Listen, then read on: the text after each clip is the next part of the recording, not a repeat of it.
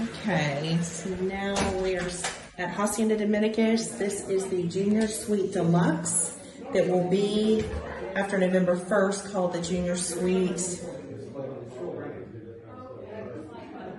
Seaside by Hay Bay. It'll be the new category.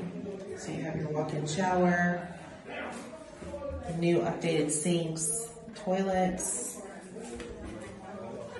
your safe is there. A separate door into the bedroom. King size beds.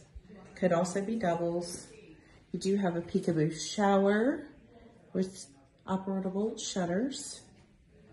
Your sleeping space, flat screen TV, mini bar, coffee maker, and this one is beachfront. So you have a balconied beachfront area.